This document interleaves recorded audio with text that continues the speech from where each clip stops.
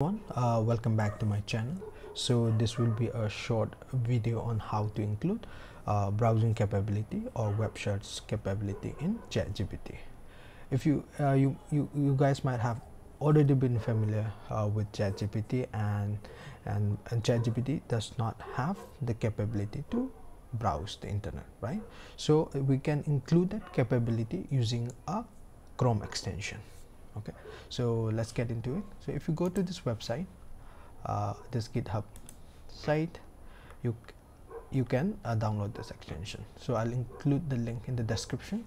So go to this website click on download here. Okay. So this will be a zip file.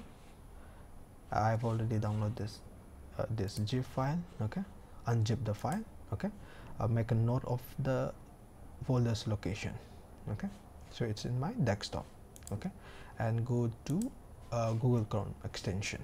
So the way you can get here is that click on this icon over here manage extensions and enable developer mode. Okay? And after that click on load unpack. Okay? So what you have to do is go to the folder where you have that particular folder that you have downloaded. Click on this unzipped uh, folder click on select. Okay? Once this has been done go to ChatGPT refresh this page.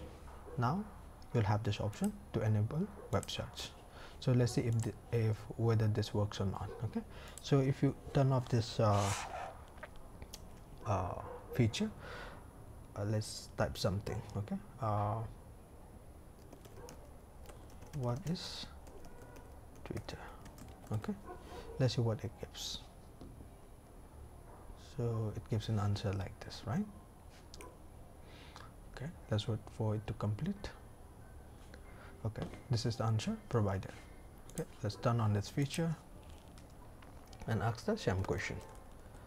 What is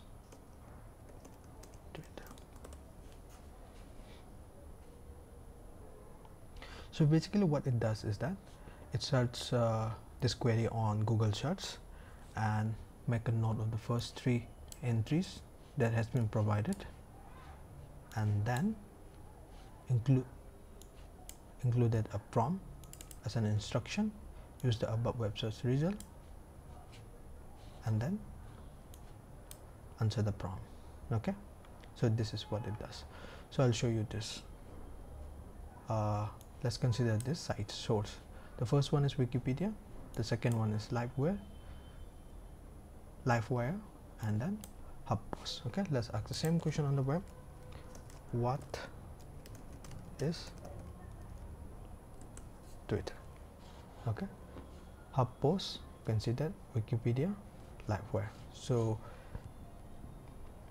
what it does is that it's entering the result from the google search and making those entry as a, a as a part of the prompt. Okay uh, so yeah this is how you can include web search. So yeah you can try this out for yourself if you want to include web search on google.